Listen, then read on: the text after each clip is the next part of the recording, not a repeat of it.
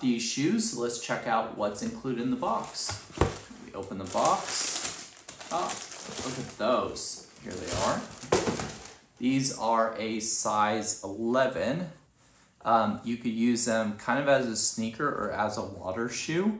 Um, they're probably built more as water shoes um, with a grippy surface. Let's take a sock off and try them on. So I am typically a 10 and a half. And let's see how they fit. Oh yeah, they fit nicely. Um, my toe stops right here. So they're probably a little bit big for me. I would say if you're buying them, they fit true to size. This toe box area is a little bit big. I could cinch it down, but as you guys see, it's gonna kind of bubble up like that. So I would say get your size. Um, if they don't have your size, then may not fit you quite as well as you want. Um, but I could tighten them down like this and make it work.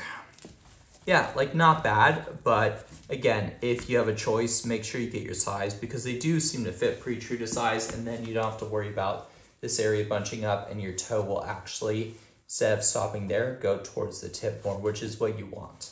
But overall, they're pretty cool shoes. We did get them as a gift, um, but it's not affecting our review of them. You're seeing for the first time as we are too.